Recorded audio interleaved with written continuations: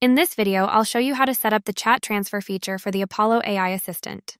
Step 1. Go to the tawk.to dashboard. Navigate to Add-ons, click the settings inside the AI Assist section. Click on the data source and select Shortcut.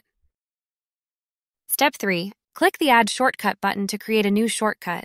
Add the question or text to trigger this shortcut. Enter the shortcut name. Enter the message transferring you now in the message field. Step 4. Once the transfer action is added, select the agent or department to be notified about the transfer. Step 5. Click Save. You successfully set up a shortcut with transfer action.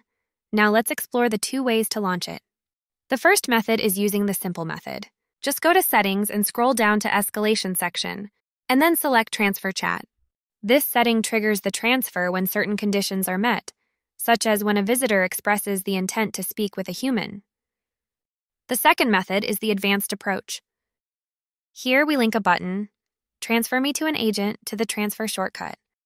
We teach AI when to show this button based on specific visitor interactions in the base prompts area. Remember, Apollo will attempt to transfer regardless of your agent's online status. Once initiated, users will see a notification you are being transferred, while agents receive a red notification on their active chat list and a push notification on their mobile app.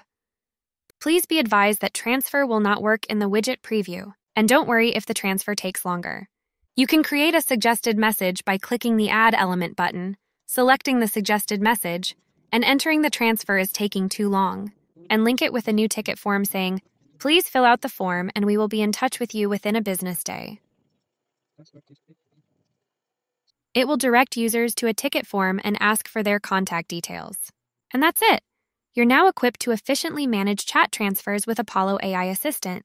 Thanks for watching. For further instructions on how to use this function, please visit our community center or schedule a call with an AI Assist specialist by clicking the link in the description.